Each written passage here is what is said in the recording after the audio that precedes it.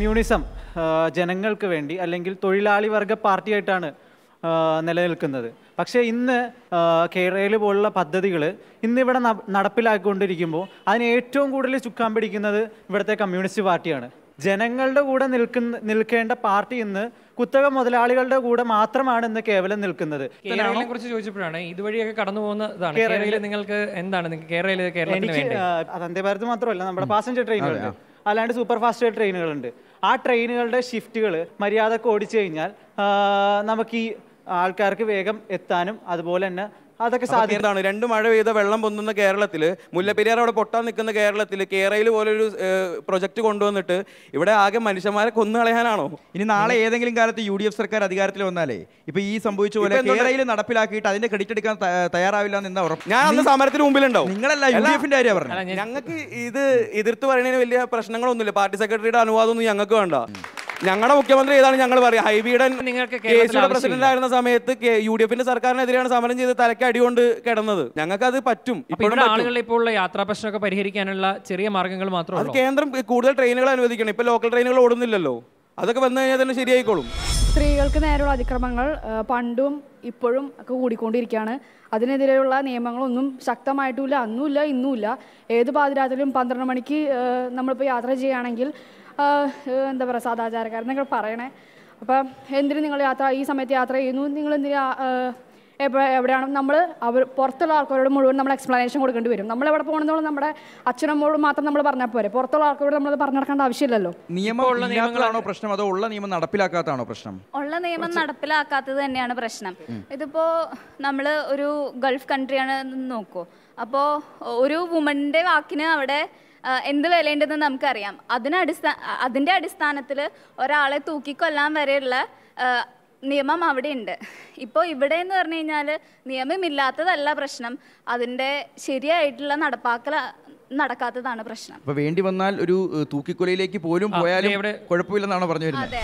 ഈ self financing course പഠിക്കുന്ന വിദ്യാർത്ഥികൾ ഈ കോളേജിലുണ്ട്. ഈ കോളേജിൽ മാത്രമല്ല എല്ലാ കോളേജിലും ഉണ്ട് അവർക്ക് ശരിക്കും പറഞ്ഞാൽ ഒരു പ്രയോറിറ്റി ശരിക്കും കൊടുക്കുന്നില്ല. സംഭവം ശരിയാണ് അവർ ഇരുപത്തയ്യായിരം നാൽപ്പത്തൊന്നായിരം രൂപ ഇവിടെ കൊടുത്താണ് ഇവിടെ പഠിക്കുന്നത്. അങ്ങനെയുള്ള കുട്ടികൾക്ക് ഇവിടെ ലൈബ്രറി കാർഡ് ആണെങ്കിലും മൂന്ന് ലൈബ്രറി കാർഡ് മാത്രം സെൽഫ് ഫിനാൻസിങ് വിദ്യാർത്ഥികൾ കൊടുക്കുന്നുള്ളൂ. ബാക്കി ഏഴ് കോഴ്സ് പഠിക്കുന്ന വിദ്യാർത്ഥികൾക്ക് എട്ട് ലൈബ്രറി കാർഡ് കൊടുക്കും ഞാൻ ഞാനിത് ലൈബ്രറിയുടെ അടുത്ത് ചോദിച്ചു. അപ്പം പറഞ്ഞത് യൂണിവേഴ്സിറ്റി ഇതിന് ഒന്നും ചെയ്യുന്നില്ല. അത് ബുക്കുകൾ പ്രൊവൈഡ് ചെയ്യുന്നില്ല. ബുക്കുകൾ തരുന്നില്ല. അതുകൊണ്ടാണ് അവർക്ക് മൂന്ന് ലൈബ്രറി കാർഡ് മാത്രം കൊടുക്കുന്നത്. ശരിക്കും പറഞ്ഞാൽ ഒരു ഈ സെൽഫ് ഫിനാൻസിങ് വിദ്യാർത്ഥികൾ ശരിക്കും എല്ലാ ഈ കോളേജിൽ ഈ കോളേജല്ല എല്ലാ കോളേജിലും ഒരു അടിച്ചമർത്തലുണ്ട്. നമ്മുടെ സുഹൃത്ത് ഇപ്പോൾ പറഞ്ഞു ഹോസ്റ്റൽ കർഫ്യൂ ടൈമിനെ പറ്റി.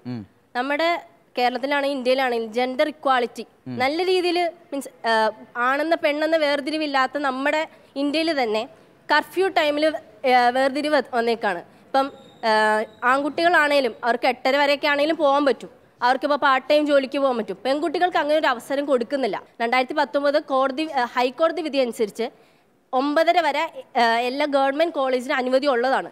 എന്നിട്ടും ഇവിടെ യു സി കോളേജിലാണെങ്കിൽ രണ്ടായിരത്തി പത്തൊമ്പതിൽ തന്നെ ഇങ്ങനൊരു വിധി വന്നപ്പോൾ തന്നെ സമരം ചെയ്തു.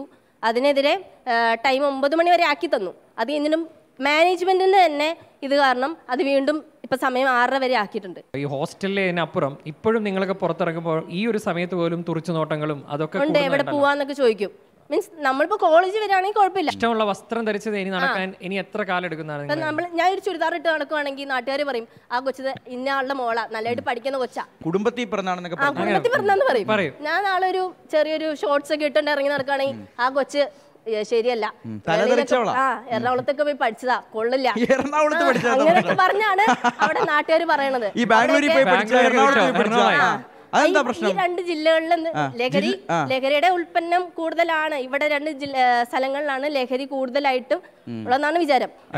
ഈ ദൂരെ പോയി പഠിക്കുന്നത് ഒരു മോശം പ്രവൃത്തിയാണോ? ഇപ്പൊ ബാംഗ്ലൂരോ ഇവിടുത്തെ കൊച്ചിയോ? ദൂരം എന്ന് പറഞ്ഞാൽ എറണാകുളമാണ് എറണാകുളത്ത് പോയി പഠിച്ചിട്ടാണ് അവൾ ചീത്തയായതെന്ന് ചീത്തയായതെന്നൊരിതാണ് പണ്ട് കാലത്ത് ഇങ്ങനെ ബാംഗ്ലൂരിൽ പഠിച്ച കുട്ടികൾക്ക് കല്യാണം നടക്കില്ല എന്ന് പറയുന്ന പോലെ എന്റെ ഒരു അതെ എന്റെ സുഹൃത്തിനുണ്ടായ അനുഭവമാണ്. എറണാകുളംകാരനാട്ടോ എവിടെയാ പഠിച്ചേ? എറണാകുളത്താ. എറണാകുളത്താന്ന് പറഞ്ഞ ഓ വേണ്ട. ആ പെൺകുട്ടി ശരിയല്ല എന്നൊരു അഭിപ്രായമാണ് ഇപ്പൊ പൊതുവെ നിലനിൽക്കുന്നത്. ഈ വീടിനടുത്ത് നമ്മുടെ വീടിന്റെ തൊട്ട് ഒരു ഇവിടെ നിന്ന് ഒരു ഒരു ഒരു പത്തടി നടക്കാനുള്ള സ്കൂളിലോ അല്ലെങ്കിൽ കോളേജിലൊക്കെ പഠിച്ചു കഴിഞ്ഞാൽ എങ്ങനെയാ അഭിപ്രായം? നല്ല അഭിപ്രായമാണോ? അത് എല്ലാവരും എല്ലാവർക്കും നമ്മളെ നോട്ട് ചെയ്യാൻ പറ്റുമല്ലോ. അപ്പൊ ഇവരൊക്കെ എന്തിനാ നമ്മളെ നോട്ട് ചെയ്യുന്നത് അത് അവരോട്? ചോദിക്കണം. അതിനിടയിൽ ആളുകൾ ചോദിക്കുന്നത് പുതിയ ചിന്ത ഇങ്ങനെയുള്ള കുറച്ച് യങ് ജനറേഷനെയൊക്കെ കാണണമെങ്കിൽ ഇപ്പൊ ഇൻസ്റ്റാഗ്രാമിൽ പോകണം ഫേസ്ബുക്ക് ഒക്കെ അമ്മാവന്മാരുടെ അങ്ങനെ വല്ല കേട്ടിട്ടുണ്ടോ? അത് അതൊരു സോഷ്യൽ കൺസ്ട്രക്റ്റ് ആണെന്നാണ് എനിക്ക് തോന്നുന്നത്.